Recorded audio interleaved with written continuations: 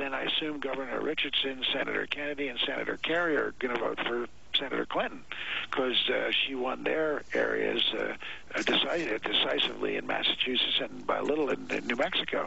And yet, when Senator, when Governor Richardson came out uh, as an Obama supporter, he said, "Well, the pledge delegates should support uh, the super delegates should support uh, the the." The, the way the pledge delegates Well, in their area voted. Phillies,